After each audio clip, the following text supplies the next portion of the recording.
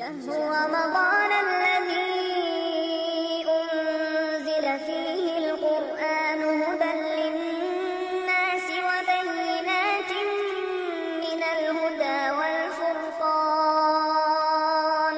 فمن شهد منكم الشهر فليصوم وعليكم السلام ورحمة الله وبركاته.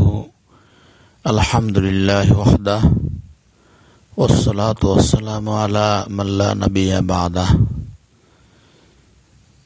এক সম্মানিত ভাইয়ের প্রশ্ন,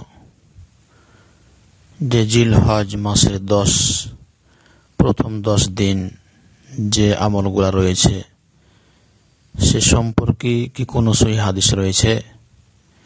একটু কি বলবেন?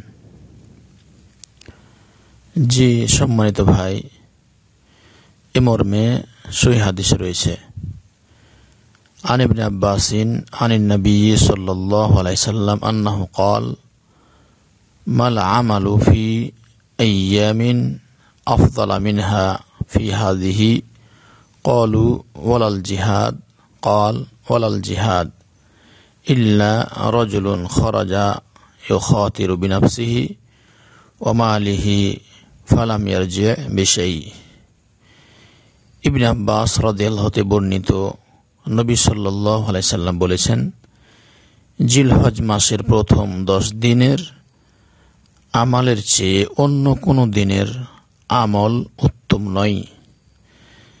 তারা জিজ্ঞেস করলেন, জিহাদও কি উত্তম নয়? হে আল্লাহ রসুল সাল্লাহ সাল্লাম, নবী সাল্লাহ আলাইসাল্লাম বললেন, জিহাদও নয়।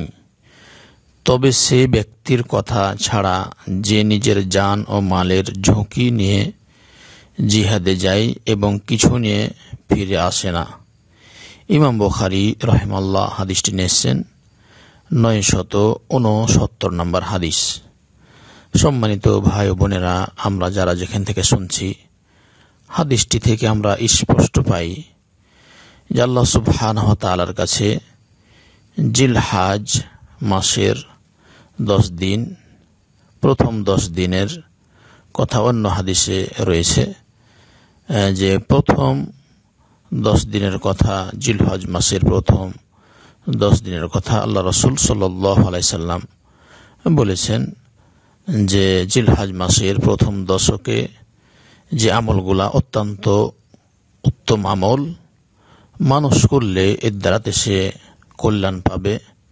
তাই জিহাদও তার থেকে উত্তম নয় তবে জিহাদ করতে গিয়ে কেউ যদি শহীদ হয়ে যায়, তাহলে ভিন্ন কথা। কিন্তু শহীদ হয়নি আর এমনি ফিরে এসেছে, তাহলে নয়। তাহলে সে ব্যক্তি এই জিহাদে যারা মুজাহিদ জিহাদ করতে যায়, তার থেকেও ফজিলতপূর্ণ আমল হবে জিল হাজ মাসের প্রথম দশকে আল্লাহ রসুল সাল্লা সাল্লাম এর হাদিস থেকে প্রমাণিত হয়। জি। এখন কোন আমলগুলা উত্তম? জিলহজ মাসের প্রথম দিকে আমরা কোন আমলগুলা করব?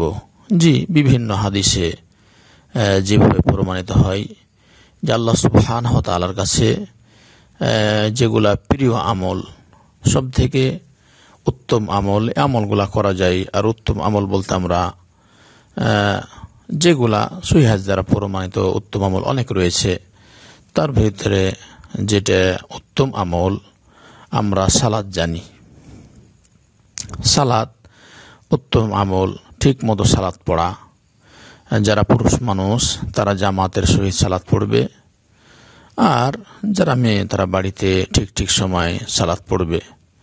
জি, এরপরে যে বিষয়টি যে সিয়াম সিয়াম উত্তম আমল। আমরা দেখেছি মক্কা, মদিনাতে মদিনাতে আলহামদুলিল্লাহ প্রায় বারোটি বছর ধরে ছিলাম। তার হয়তো একটু বেশি হতে পারে। তো সেখানে দেখতাম যে আমরাও চেষ্টা হয়তো করতাম করতাম কোনো সময়তে সিয়াম এবং তারাও করত যে জিলহাজ মাসের প্রথম থেকে নিয়ে দশ দশ শেষ, প্রথম দশকে তারা বলা যাবে তারা সিয়াম রাখত।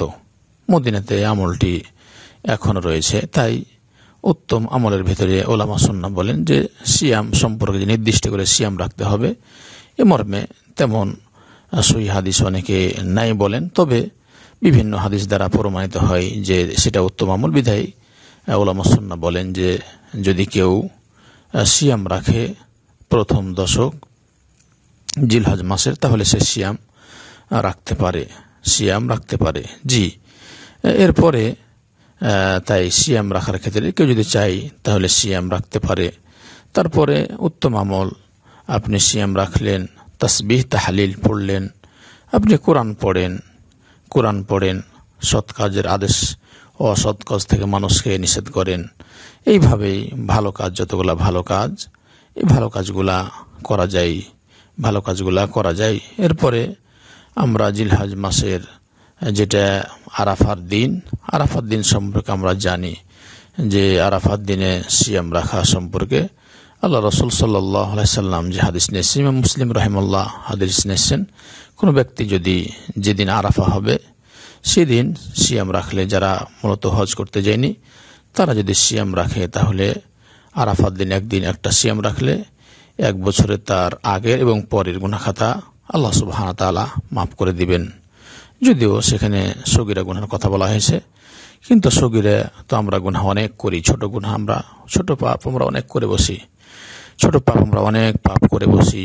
তো আল্লাহ সুবাহ তালা যেন আমাদেরকে এই জিলহাজ মাসের প্রথম দিকে যে আমলগুলোর কথা বলেছেন যে আমরা যারা হজ করতে যেতে পারিনি, তারা এই আমলগুলোর মাধ্যমে আমরা চেষ্টা করব।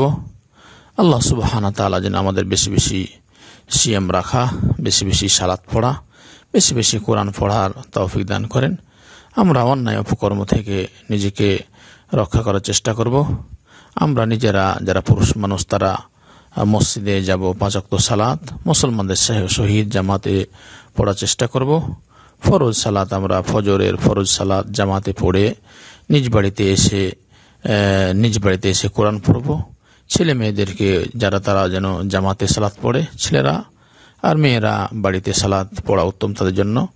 বাড়িতে সালাত পড়ে তারা সকলে আমরা যেন যে যেখানে আসি মা বোন আমরা যেখানে আসি আমরা যেন কোরআন পড়তে পারি এবং আমাদের প্রথম সকালের কাজগুলা যেন জামাতে সহি সালাত পড়ার পরে, ঠিক সময় সালাত পড়ার পরে, কোরআন পড়ার পরে যেন আমরা আমাদের কাজে বের হতে পারি। আল্লাহ সুবাহানা তালা যেন আমাদের ছেলে মেয়েদেরকে পরিবার পরিজনকে সবাইকে যেন আল্লাহ সুবাহ তালা হেফাজত করেন। আমাদের যেন আল্লাহ সুবাহ তালা ইহকাল পরকাল কল্যাণ দান করেন। ও আখরিদা ওয়ান আলহামদুলিল্লাহ রবিল্লা আলমিন। সুবাহানাক আল্লাহ হামদিকা আসাদুল্লাহ ইলাহ আন্তা আস্তাগফিরুকা ওয়া আতুবু ইলাইক।